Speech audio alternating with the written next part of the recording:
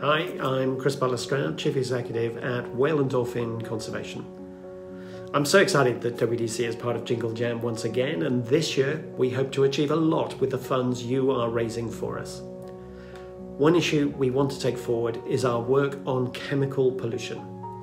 Man made chemicals are devastating the ocean and its inhabitants and have directly impacted an entire population of orcas living in Scottish waters, placing them at risk of extinction.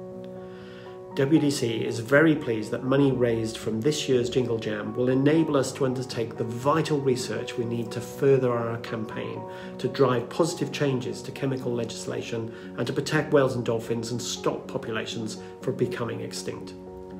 Thank you to Yogscast and the whole Jingle Jam community for joining us in our campaign to save these remarkable whales and dolphins. Thank you.